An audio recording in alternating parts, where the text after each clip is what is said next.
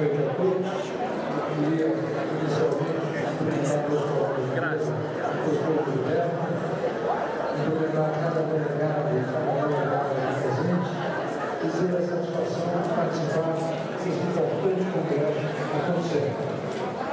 Aqui é, desses 30 minutos, trazer uma rápida avaliação da conjuntura, para que a gente tenha clareza efetivamente está ocorrendo no Brasil.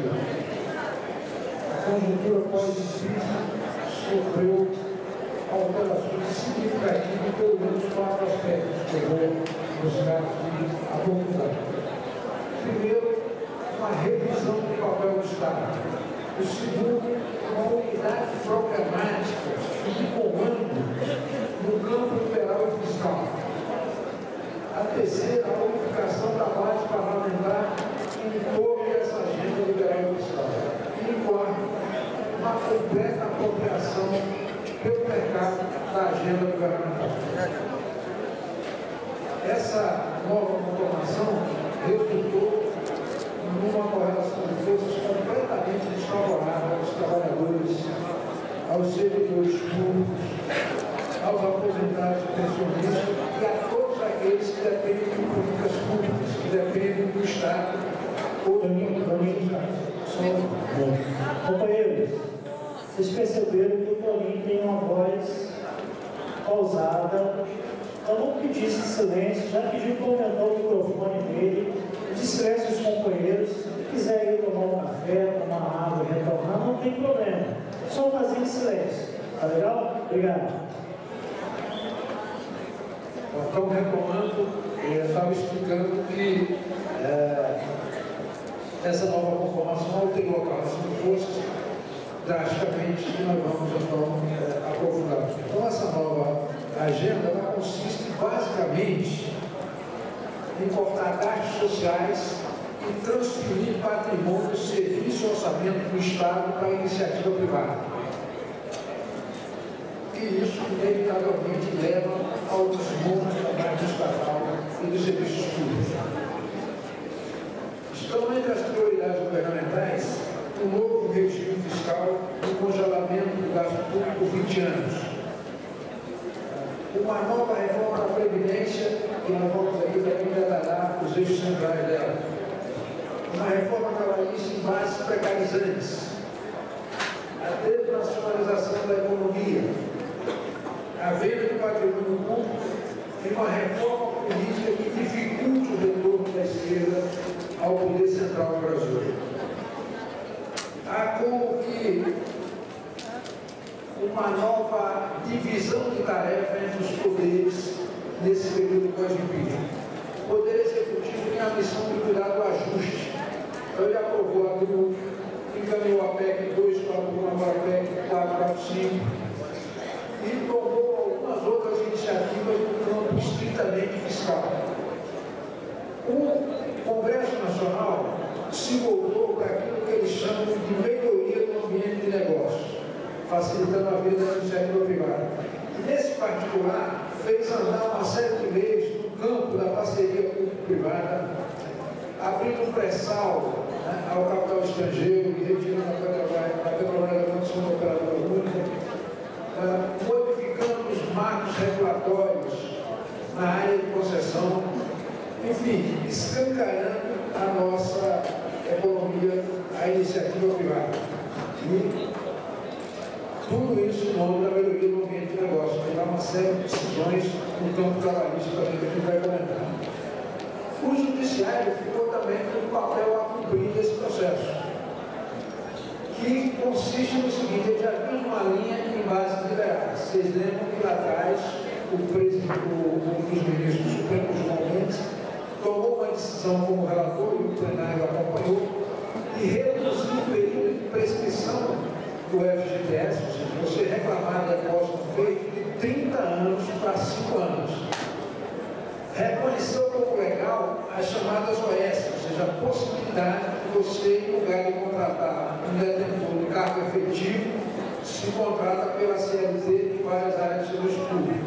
E aprofundou isso mais recentemente, tomando uma série de medidas, particularmente no que diz respeito, por exemplo, é uma das prioridades nas estatais, uma espécie de prevalência do negociado sobre o Estado, medida recente, decisão do ministro Teori, nulidade da desaposentação, né? corte de vencimento do servidor público em breve, né? e por aí vai. Cada poder cumprindo um pouco dessa tarefa no sentido de mudar o papel do Estado. Então é nesse contexto mais geral que a gente tem que analisar é, essa permuta, essa troca de governo, que pode significar sim mudanças estruturais né, é, no país, que terá reflexo negativo, como disse, sobre os trabalhadores e sobre os servidores públicos. Então a substituição da ex-presidente pelo atual ocupante da presidência da República não é uma mera troca de nomes, é uma mudança de paradigma, de profundo significado. É, porque ela amplia e muda completamente a relação entre o governo e o mercado. Significa uma, um redirecionamento do papel do Estado. Significa o retorno do consenso de Washington ou o retorno, isso foi plenitude da agenda liberal que esteve, pelo menos na perspectiva do Poder Executivo, nos últimos anos, suspensa por algo como 13 anos no Brasil. A consequência a adoção desse conjunto de reformas significará, portanto, uma revisão do papel do Estado, que deixa de cumprir a função de combater os desequilíbrios regionais, desequilíbrio de renda, desequilíbrio entre pessoas, e passa a jogar todo o seu peso na garantia da propriedade, na garantia do contrato e na garantia da moeda. É uma mudança extremamente grave, além de, naturalmente, é, naqueles serviços considerados clássicos, como saúde, educação, segurança, é, comprar parte desse serviço no mercado em lugar prestado diretamente. E isso é importante a gente refletir.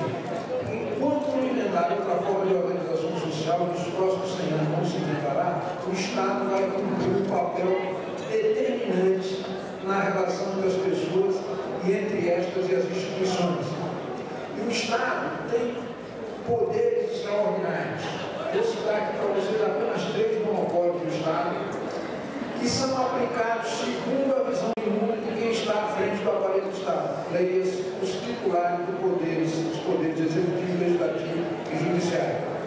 O Estado tem o poder de impor conduta e punir seu descumprimento, é o poder coercitivo, é o poder fazer valer as decisões, é o poder de arregimentar exército, de usar a polícia para fazer valer as decisões. Ele tem o poder de legislar, de fazer leis obrigatórias para todos, para cada um. E o modo como se legisla, a visão de mundo de quem está à frente disso pode contribuir para incluir pessoas, para fortalecer a cidadania como pode também trabalhar no sentido da exclusão. E tem, por fim, o poder de tributar, arrecadar compulsoriamente de toda a sociedade recursos mediante impostos, taxas e contribuições. E, igualmente, o modo como se tributa pode incluir ou excluir, pode fazer com que o país entre em recessão ou acelere a sua atividade produtiva. Ah, no caso do Brasil, nós temos uma carga tributária que incide basicamente sobre salário e sobre consumo, como deveria incidir sobre renda, sobre patrimônio, sobre lucro, né, sobre grandes fortunas, etc. E, entretanto, isso não acontece. Então, quem estiver à frente do aparelho do Estado vai ter sua, na sua mão essas é, prerrogativas, essas possibilidades. E vivemos um momento extremamente delicado na vida nacional. Então, se a gente não compreender esse papel do Estado e a influência que ele tem sobre as nossas vidas, nós teremos a condição ou a capacidade de fazer esse enfrentamento com absoluta clareza. E aí é importante é, ter clareza do seguinte, esse governo se encontra à frente da presidência da República hoje, é um governo que adotou uma agenda, que é a agenda do mercado, batizada de ponte para o futuro. e ela vem sendo implementada com rigor absoluto. Me surpreende ver nos jornais, na televisão, que o governo não está conseguindo fazer das coisas. Como não está conseguindo? Tem uma lista de matérias que já foram aprovadas nesse período, extremamente grave do ponto de vista da população brasileira. Eu vou apenas citar aqui para a gente é, recuperar aqui a memória, para ver que não está tão parado. Aprovou a TRU, aprovou o Estatuto Jurídico das Empresas Estatais, que impede, por exemplo, que o dirigente sindical e dirigente partidário, se não tiver afastado dessa atividade há 36 meses, portanto há 3 anos, não pode assumir cargo nessas empresas. Elas estão sendo direcionadas no sentido de criar condições para a sua privatização. E foi graças a essas mudanças que deram condições para que esses ajustes que estão sendo feitos aí com demissões de milhares de trabalhadores nessas empresas. Se aprovou o programa de parceria público-privada, aprovou o marco regulatório da energia, que permitiu a privatização da CELG agora no Goiás na semana, semana passada. O fim da Petrobras como operadora única. Está em fase de votação final a PEC 55, nós vamos falar dela aqui dela o PLN2 e a LDO, que já inclui uma regra dizendo que no ano 2007 não se gastará, além do que se gastou em 2006, mais o IPCA, já está nessa lei, o PLP 268, de autoria do Aécio Neves, que arrebenta os fundos de pensão. Hoje, os fundos de pensão, inclusive o FUNPRES, você tem a participação dos trabalhadores nos conselhos deliberativo fiscal igualdade de condições, meio a meio, metade do governo, metade do pessoal está reduzindo isso para um terço do governo e dos trabalhadores e botando um terço para o mercado. Está aprovado já. Só para colocar o destaque que não tem nada a ver com esse assunto. É, também, é, em votação, aí tira a participação dos trabalhadores na direção dos fundos de pensão. Reduz nos conceitos na direção. Por exemplo, a Previno terá mais dirigentes, diretores na direção do fundo. A MP de renovação de concessões será essa semana, que está em curso lá. Vai encaminhar uma reforma previdenciária que está tratando já da trabalhista. Então está funcionando a todo vapor. E essa agenda, então, Ponte para o Futuro, tem o objetivo de fazer uma desindexação da economia. Aí eles fazem a primeira medida em sentido inverso. Indexa para limitar o gasto. Você não se pode gastar além do IPCA desvinculação orçamentária, que é desobrigar o Estado a gastar um valor mínimo vinculado à receita nas áreas de saúde, educação, ciência, tecnologia, etc. A privatização, a descentralização e as parcerias privadas. A abertura do mercado da economia com o fim do conteúdo local, do conteúdo nacional e a obrigatoriedade de qualquer ente do Estado pelo menos 50% dos bens e serviços que ele contrata tem que ser de empresa brasileira. Isso vai empurrar, se deixar. Reforma trabalhista, etc. Então, esse governo está aí, ele tem um compromisso com essa agenda. Ele foi eleito para implementar, foi eleito, deu golpe para implementar. Então, se ele não conseguir implementar, ele vai ser destituído. Com a nossa ajuda, obviamente. Agora, atenção, pessoal. Se for destituído, os três nomes pensados para substituir uma eleição direta a partir do ano que vem, em primeiro lugar, a FHC, em segundo, Nelson Jobim, e em terceiro, Rodrigo Marques. É muito importante que a gente tenha em conta que tem que enfrentar muito seriamente essa agenda. A gente quer rolar é a agenda. Se não derrotar pela agenda, vai enrolando quem está patrocinando essa agenda do governo. É, não devemos sobreestimar a capacidade e o nível de perversidade desse governo. Apenas para lembrar vocês, refrescar a memória, o Michel Temer ele foi o relator da reforma da Previdência do Fernando Henrique. Então, se não tem ideia de vir hoje, não é porque ele não propôs, porque ele foi derrotado na ocasião. Ele, como vice-presidente da Dilma, ele avocou para si a condição de coordenador político do governo aprovar as duas maiores perversidades do governo, que eram as MPs 664 e 665, que no caso dos servidores públicos retirou a vitaliciedade da pensão. O seu ministro das privatizações é o senhor Moreira Franco, que foi o relator da reforma administrativa que tirou 50 direitos dos servidores públicos naquela oportunidade. O seu ministro da Saúde foi aquele que no relatório da, da LDO do orçamento do ano passado para este ano, disse que tinha que ter uma reforma trabalhista, porque a justiça do trabalho era muito cara, e a reforma trabalhista faria bem do ponto de vista fiscal para o governo, porque não tinha, ia gerar mais emprego, portanto não tinha que pagar seguro-desemprego para muita gente. Então, é essa gente que hoje está à frente da presidência da República. No parlamento, a tragédia é maior ainda. Nós tínhamos antes uma situação, assim como no governo federal, em que tinha um núcleo de esquerda no governo e uma, um grupo grande em torno dele sempre preso. Então havia uma disputa em torno dos conteúdos.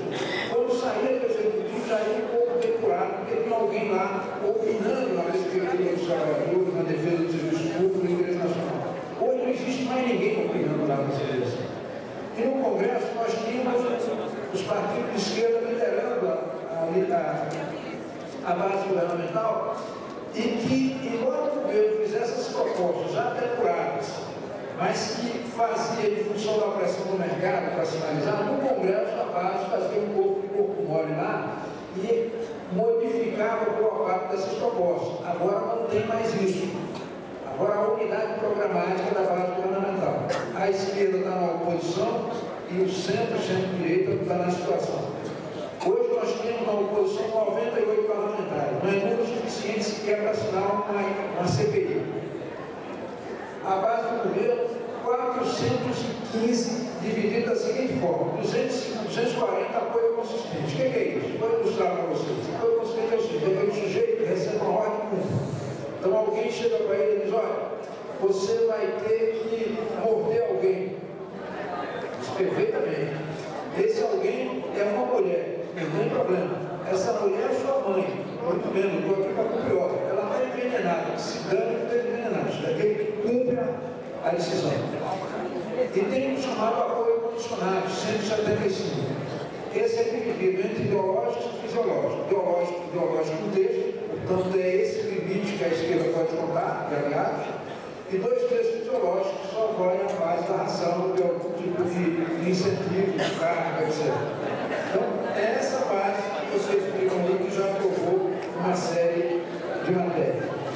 Eles não têm nenhuma divisão a respeito do conteúdo liberal e fiscalista. A divisão deles é do componente ético-moral. Que aquela oposição inicial que o PSDB tem o PBS diverge do, da base do antigo centrão do ponto de vista ético-moral, porque eles estão enrolados lá nesse processo. Mas, do ponto de vista da agenda, não divergem absolutamente nada. Ah, temos que ter uma preocupação grande, mas muito grande, por a seguinte razão em relação a essa agenda. Porque essa é a quarta tentativa deles. Se eles perderem essa agora, dificilmente terão uma curto prazo. Primeira tentativa de rever o que ainda resta do Estado que está no Brasil. Primeiro foi na Constituinte, através do Centrão, vocês vão lá, Ricardo Fiuza, a Fife Domingos, eh, Roberto Cardoso Alves, Luiz Eduardo Magalhães, etc., eh, tentando o projeto de desmonte do Estado brasileiro. Não construir, mas avançando com uma proposta mais de acordo com o interesse nacional. A segunda foi na revisão constitucional.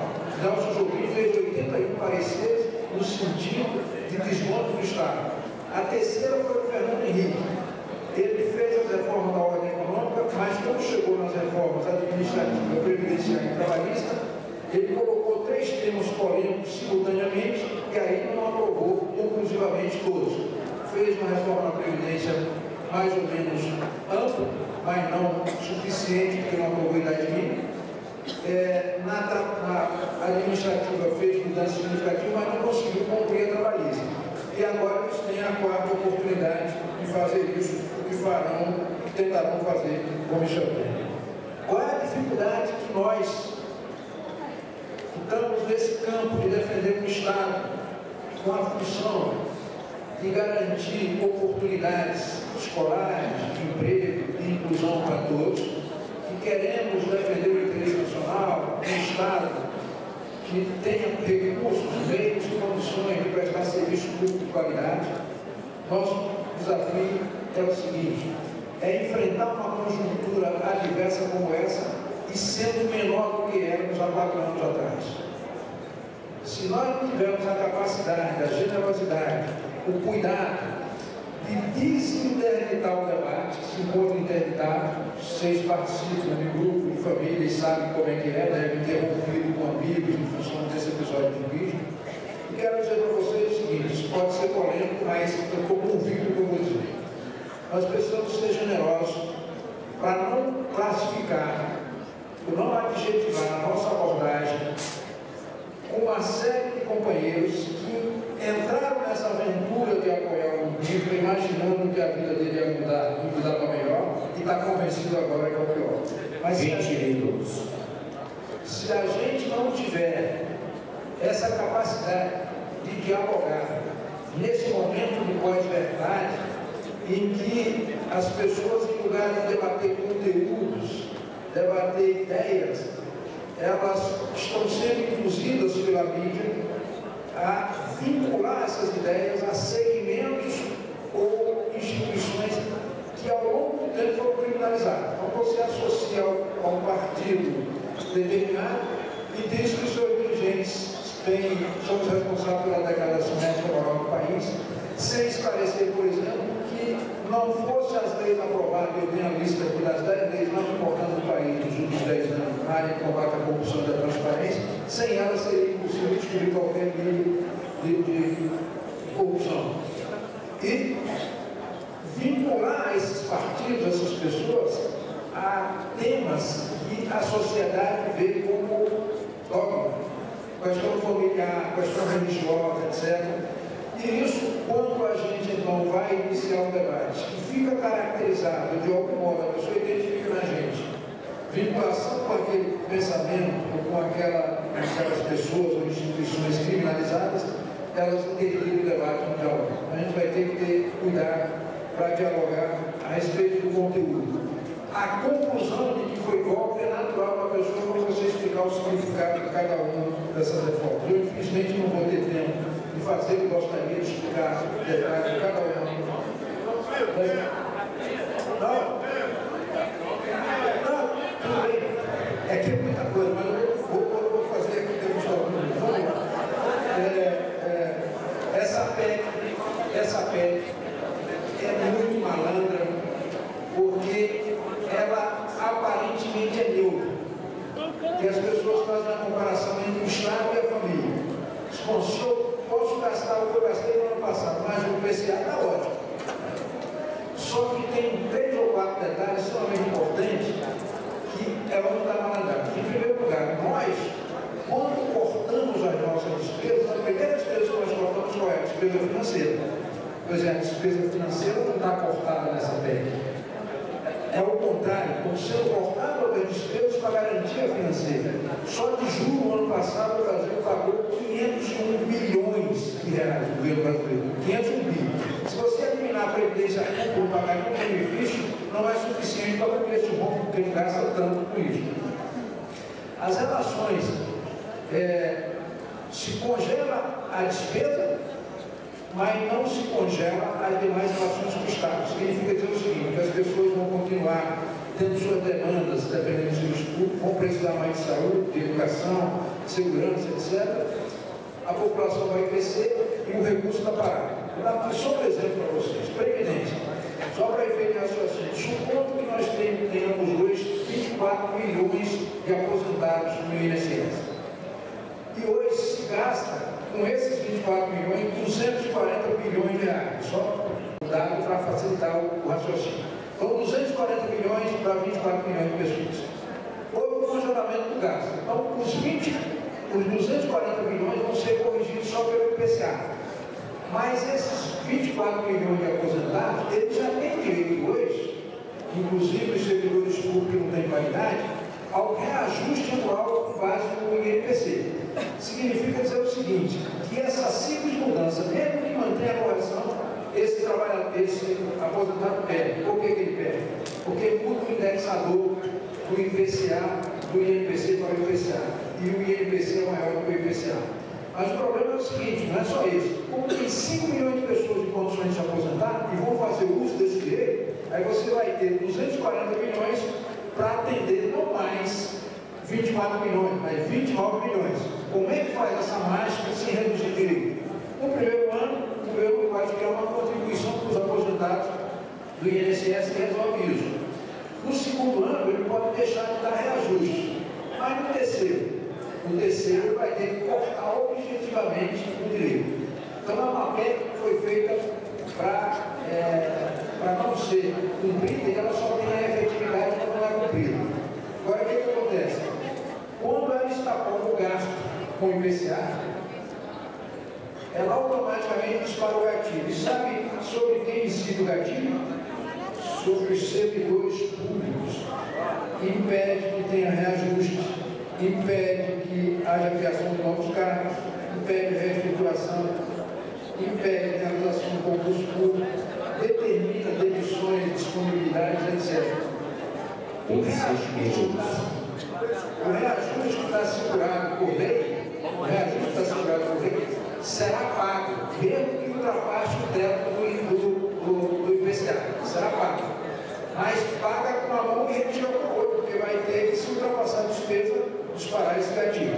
Então, é uma PEC que é, o Marx disse bem aí, nós fizemos o cálculo. 2002, dezembro de 2002, se o salário mínimo lá para cá tivesse corrigido só pelo IPCA, seria de 509 reais. Significa dizer que ele seria menor em 375 reais e, portanto, esses 375 reais que cada pobre deixaria de receber ao longo desses últimos 13 anos, iria para o banqueiro, o pagamento da dívida.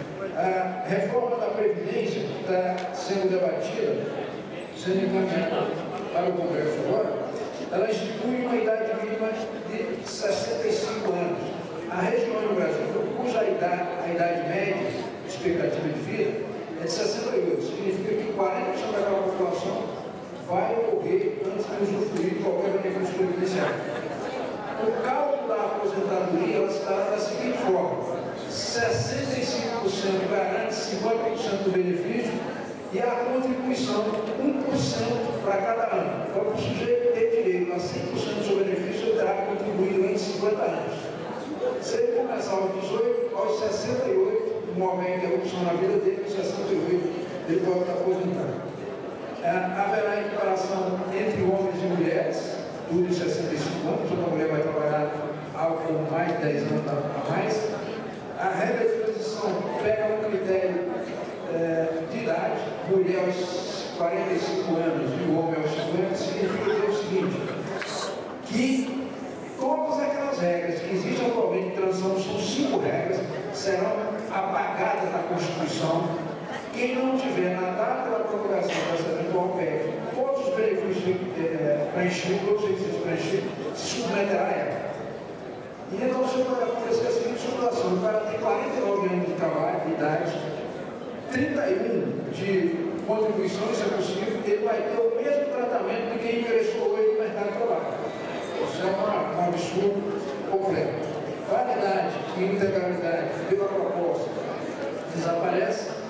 É, as aposentadorias especiais também é, sofrem mudança, a aposentadoria por invalidez é, também sofre mudança drástica.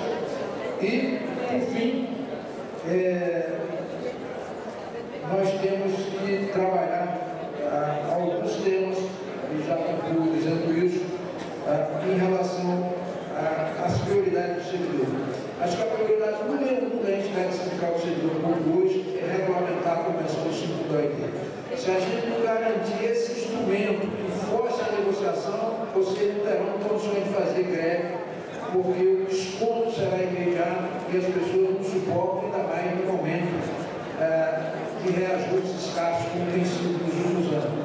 Então a prioridade é a convenção, porque ela obriga o governo a sentar e dá a condição exigida esse cumprimento da, da, da, da, negociação fazer a greve. Tem um PLP que eles vão tentar votar, que é o 248, que é a dispensa de insuficiência de desempenho. Tem é, a PEC, já mencionei, 55, mas para concluir eu queria chamar a atenção para os desafios que a gente tem no ponto de vista da formação. Nós temos que estabelecer três prioridades a médio e longo prazo curto, médio e longo prazo para os servidores públicos, trabalhadores no governo. Promover formação política. Hoje, o movimento sindical brasileiro passou por três momentos. Momento de ser contra, na época da ditadura. derrotada a ditadura no momento de reivindicar e agora não basta ser contra, não basta reivindicar. É preciso formular, é preciso ter alternativa. Ninguém convence mais o fato de simplesmente ser contra. E isso vai requerer um desafio de formação muito grande, é, formação política muito grande. O outro é melhorar a comunicação institucional e interpessoal. Nesse momento de pós-verdade, de debate identitário, nós temos que ter muita habilidade para trazer sozinho para o Francisco. Não teremos força para impedir os retrocessos, não é para garantir a vida. Impedir os retrocessos, então temos que engrossar. Temos que ampliar, uh, trazer parte desse centro democrático para engrossar essas fileiras e fazer esse enfrentamento. Pelo passado, nós, mesmo número pequeno, tínhamos condições não apenas de impedir retrocesso, como garantir determinados avanços. Hoje, não teremos mais essa condição. Então, os caroneiros, aqueles que sempre se deram bem, mesmo dificultando os movimentos, ficando fora, se eles não entrarem agora, eles estão perdendo, e efetivamente vão perder. Esse é o desafio que a gente tem de fazer essa comunicação. E, por fim, ter sempre a alternativa àquilo que a gente critica ou se opõe. E aqui eu concluo dizendo isso. Se há objetivamente no Brasil uma crise e que isso requer algum tipo de reforma, muito bem, e façamos essas reformas. Agora, essas reformas têm que ser, os sacrifícios decorrentes dela têm que ser distribuídos proporcionalmente à capacidade contributiva de cada um.